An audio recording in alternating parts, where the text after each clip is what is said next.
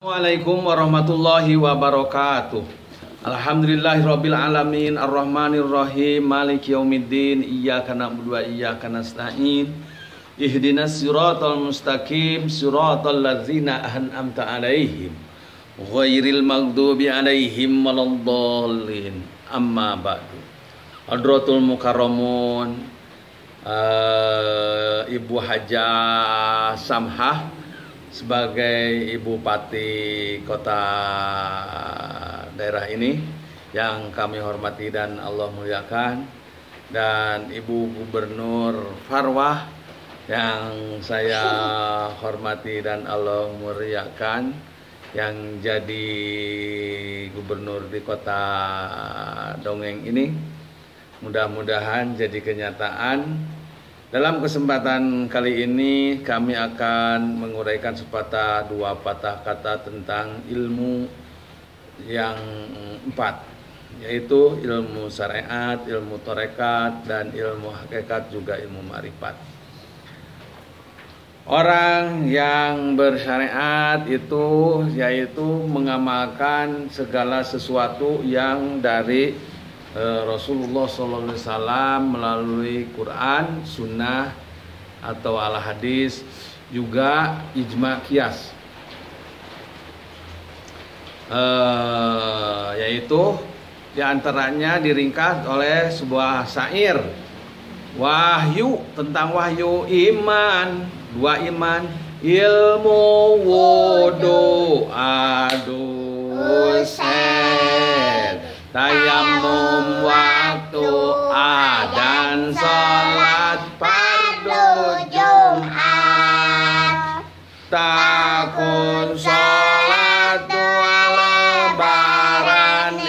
istisqa witir Ringkas salat sujud Quran sama gak keutamaan salat tahajud sawi fitnah haji umrah zakat kematian tentang kematian. Taraweh puasa berburu bes Madinah buru jual beli kapak tinta baik minuman pertanian juga tanggungan adab izin mengajak awal lawa kalah summa pinjaman gade sirka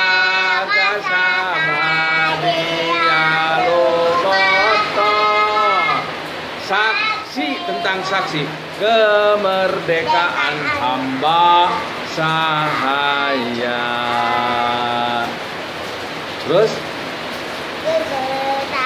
Meyan jihad nabi syarat wasiat biografi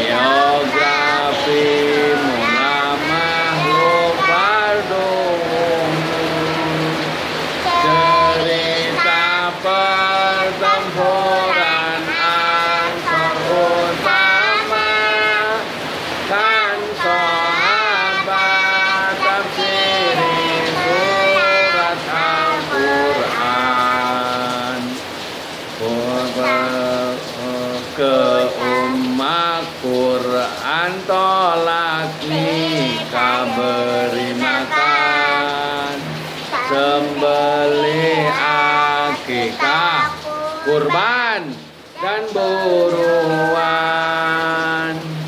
Minum yang sakit berobat berpakaian. Adab izin mengajak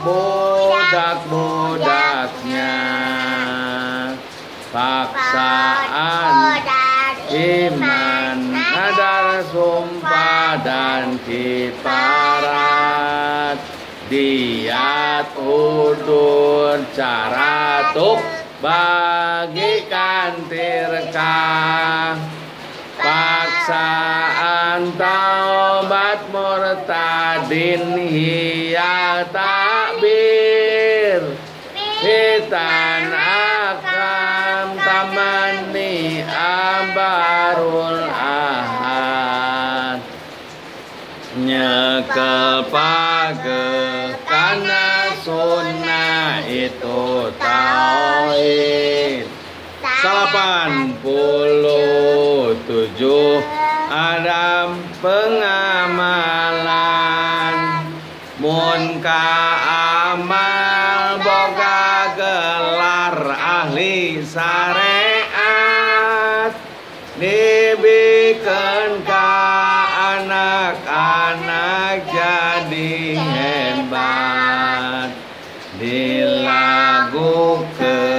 kumbang hasa cikereke Dua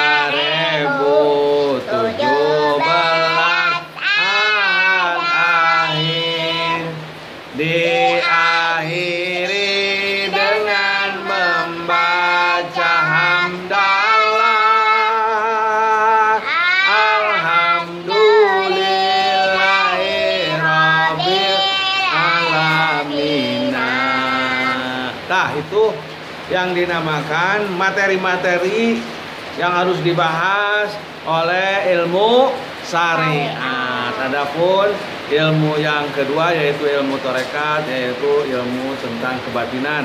Di mana dibahas dengan ilmu torekat, itu tentang eh, bagusnya eh, apa hati.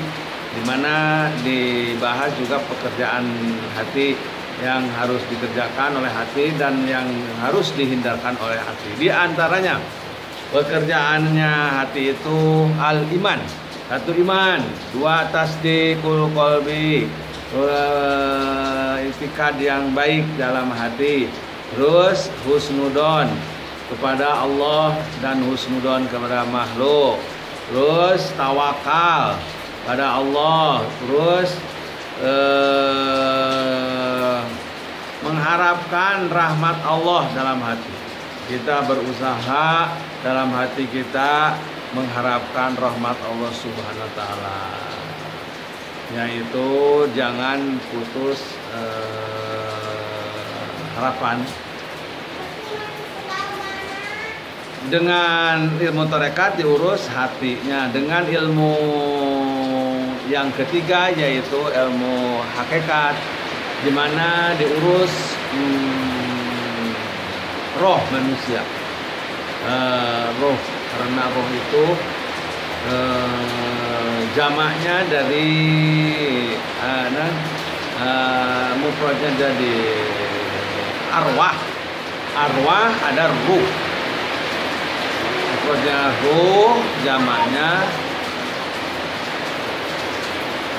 jamaknya ruh yang terakhir yang keempat ilmu marifat itu mengurus rasa.